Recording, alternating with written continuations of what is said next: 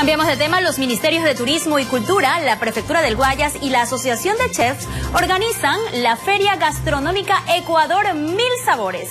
Esta deliciosa cita se realizará desde el próximo 15 de octubre de 7 de la mañana a 7 de la noche en la explanada del Centro Cívico.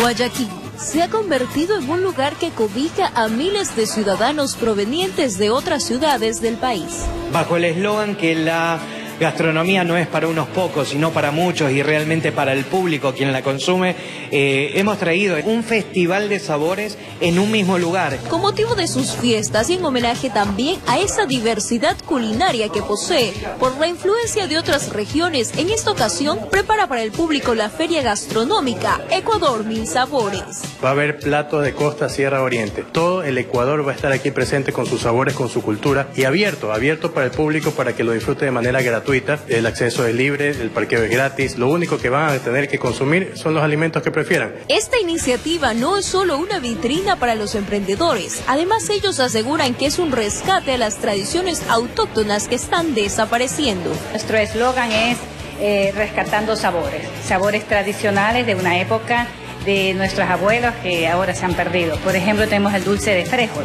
frijol canario, 100% eh, natural, libre de conservantes. Hasta el momento el evento cuenta con 120 expositores que tendrán la más diversa variedad de platos ecuatorianos, pero quienes aún deseen ser parte de él pueden hacerlo. Quiero invitarlos muy cordialmente, quiero todavía aperturar y dejar en claro de que todos aquellos que se quieran sumar como expositores aún tenemos espacio y si no lo hay, lo creamos porque realmente no puede quedar nadie afuera. Informó Mari Carmen.